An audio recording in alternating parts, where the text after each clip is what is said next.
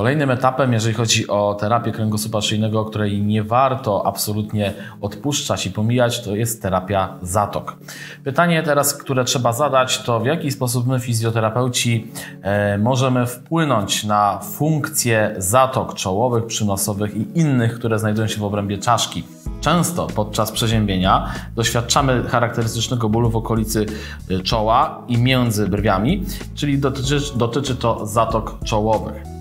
I teraz y, Technika, którą Wam pokażę, jest techniką odruchową zaczerpniętą z manipulacji powięzi i metody, e, metody FM i FDM, e, która będzie polegała na roztarciu powięzi w trzech punktach.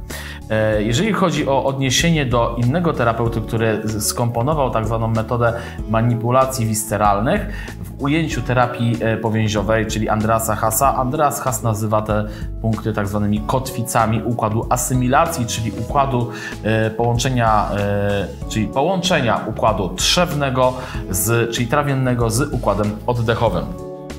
I teraz tak. Musimy odnaleźć na początku pierwszy punkt.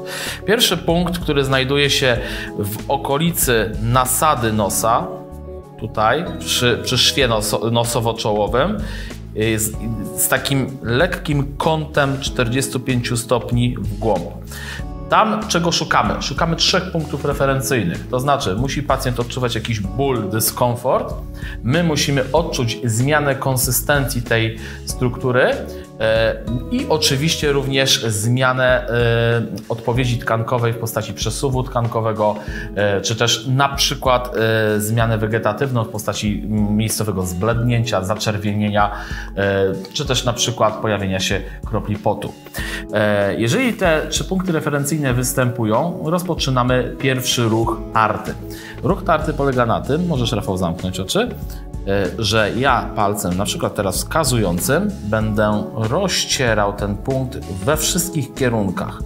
I teraz oczywiście pytam pacjenta, czy to boli, e, czy jest nieprzyjemne, czy promieniuje. Nie robię tego oczywiście e, na hama z wykorzystaniem całej siły, natomiast wykonuję to wyraźnie ocierając się o kostną. Taka cecha charakterystyczna powięzi twarzoczaszki jest taka, że tutaj nie mamy rozgraniczenia na powięź powierzchowną i powięź głęboką. Wszystko przyrasta się do kostnej, dlatego te techniki e, tarte są tutaj no niestety bardzo mocno odczuwane przez pacjenta.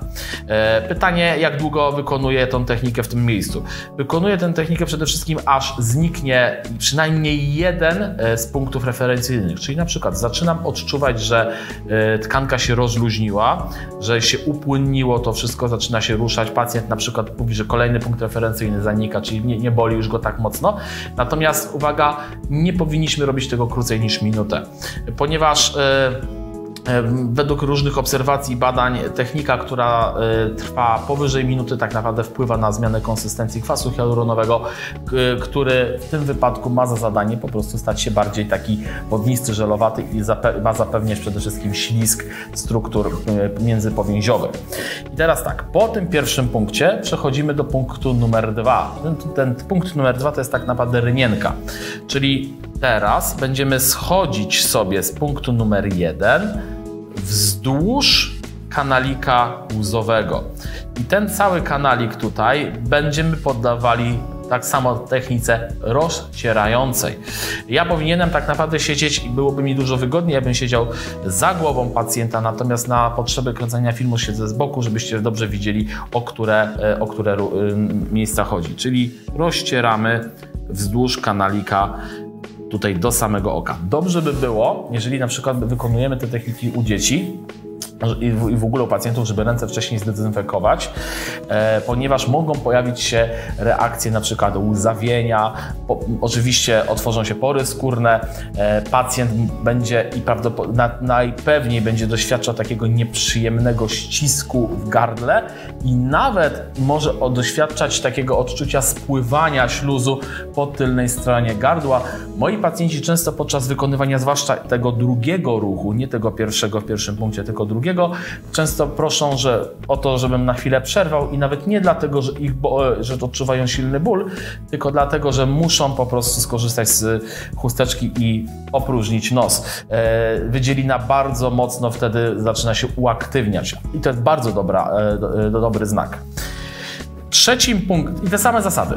Wykonujemy technikę do zniknięcia przynajmniej pierwszego punktu referencyjnego po upływie minuty. Maksimum czasu, ale oczywiście przy mm, e, amplitudzie takiej, że ten ból przede wszystkim zaczyna maleć, to jest do około 5-7 minut. E, jeszcze mi się nie zdarzyło, abym komuś tak długo to wykonywał. Zazwyczaj czas, który potrzebny jest do opracowania pierwszego punktu, czy jednego z tych trzech punktów, to jest między 1,5 minuty, 2,5 minuty. Po, po, tym drugim punkcie przychodzi czas na punkt numer 3. Jest to okolica połączenia kości jarzmowej. Mamy tutaj kość jarzmową i wyrostek jarzmowy. I tutaj mamy też szef i w, tym, w tej okolicy zaczynam rozcierać. Tylko musimy tutaj bardzo uważać, ponieważ bardziej bocznie mamy już gałązkę nerwową i teraz jest chwilą, gdy ja będę ją podrażniał, to pacjent może odczuwać silny ból, który nie ma nic, nie jest w ogóle związany z tym, co chce uzyskać. Ja nie chcę rozcierać struktur gałązek nerwowych, ja chcę rozcierać tylko i wyłącznie przyczepy zakotwiczeń powięzi trzewnych w powięziach somatycznych, w tym wypadku w powięzi twarzoczaszki. Zatem wykonujemy tak samo ruch tarty w tejże okolicy który trwa około minuty do 7 minut. Dobrze jest oczywiście robić to i sprawdzać te punkty referencyjne symetrycznie, e, ponieważ e, rzadko tak naprawdę zdarza się, aby tylko jedna zatoka była, e, znaczy jedna część twarzy była problematyczna, chociaż jest to oczywiście możliwe.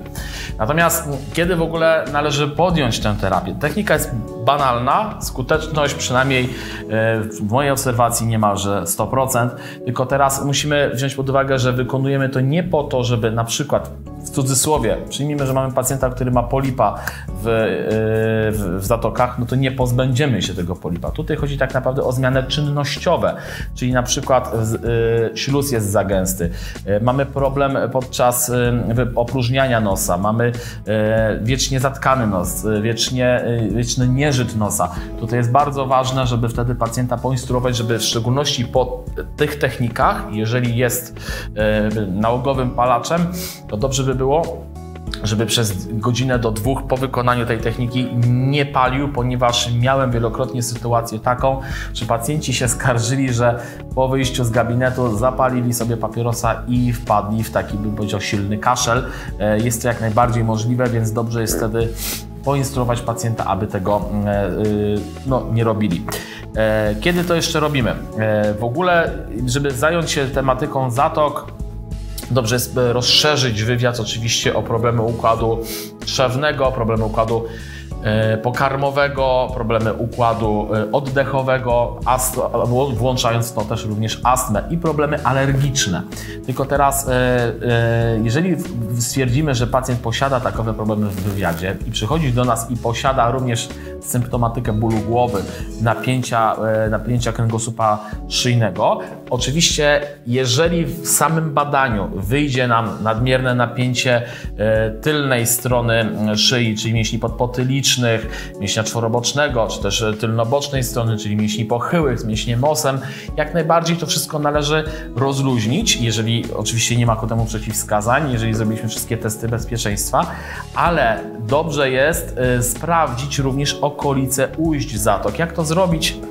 Przede wszystkim e, tutaj w okolicy łuku brwiowego mamy otwór ujścia zatoki.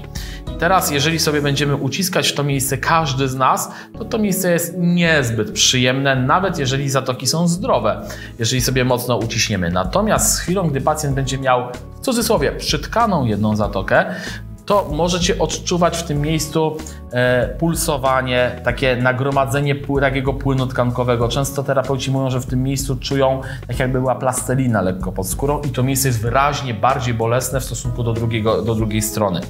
E, bardzo często, jeżeli będziecie próbować zrobić e, test przesuwu tkankowego w poprzek, wzdłuż, to właśnie nad tą zajętą stroną będziecie odczuwali zupełnie inne odczucia, inne tempo rozciągnięcia skóry będzie, skóra będzie bardziej naprężona. Pacjent też będzie mówił, że nie czuje się, dys, nie czuje się komfortowo, czuje dyskomfort. Wtedy dopiero po tym wszystkim rozpoczynacie oczywiście symetryczne badanie tych trzech punktów, czyli powtarzam jeszcze raz, okolica połączenia kości nosowej z kością, z, tutaj z kością, czyli szef no, nosowo-czołowy. E, następnie rynienka, która jest odpowiednikiem powiedzmy kanalika łzowego i na samym końcu e, okolica połączenia kości jarzmowej z wyrostkiem jarzmowym. W tej okolicy ro, rozpoczynamy tarcie, pamiętając o, o tym, że w tym miejscu znajduje się również ujście nerwu. Po tym wszystkim, po tym wszystkim dobrze jest odbarczyć e, szef nosowo-czołowy. Robimy to w taki sposób, że jedną ręką trzymamy w ten sposób, lub ja często robię to w ten sposób blisko szwu, jedną rękę stabilizuję, druga ręka chwyta się za kości nosowe i zaczynam podążać w kierunku wolnego napięcia tkankowego. To znaczy, Próbuję to oczywiście docelowo rozciągnąć, y, natomiast na początku wcale to może nie być przyjemne. Być może na początku będę musiał to skompresować, może troszeczkę wykonać taki ruch rotacji.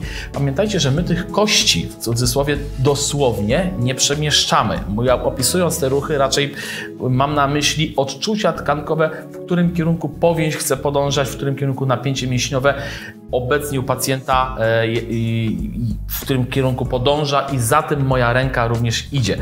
Dobrze jest wykonywać to z odczuciem i z, do, z taką no, do, dużą dozą delikatności. Natomiast jeżeli na przykład, tak jak u Rafała, z chwilą, gdy próbuję rozciągnąć to, czuję wyraźny opór, więc na początku ja u Rafała bym wykonywał raczej kompresję tego szwu, a na samym końcu podejrzewam, że po paru sekundach, może minutach takiego trzymania tej, te, te, tego napięcia podejrzewam, że uwolniłoby się to napięcie z okolicy szwu, gdzie mógłbym w cudzysłowie otworzyć tę przestrzeń e, po to, żeby usprawnić również e, e, drenaż tejże okolicy. I a propos słowa drenaż, jeżeli jesteście po kursie samego drenażu, limfatycznego, czy też nawet kosmetycznego.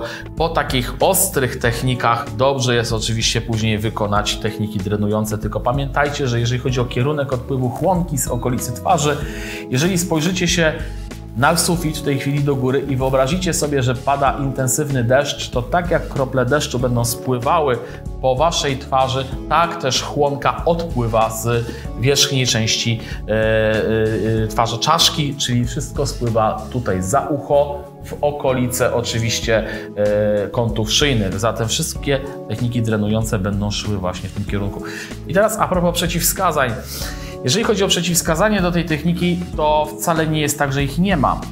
Wyobraźcie sobie, że pacjent ma problem z zatokami, który wynika z jakiegoś bakteryjnego zapalenia zatok. Absolutnie nie możemy wykonywać wówczas tej techniki, ponieważ otwierające się naczynia krwionośne plus jeszcze techniki drenujące, które wykonujemy potem, mogą, e, wtu mogą wtórnie pogorszyć stan pacjenta, a zatem musimy mieć pewność, że nie ma tam żadnego patogenu, którego możemy e, no niestety rozsiać. E, pamiętajcie, że jesteśmy tak naprawdę bardzo blisko tutaj struktur centralnego układu nerwowego, co jest bardzo, bardzo ważne.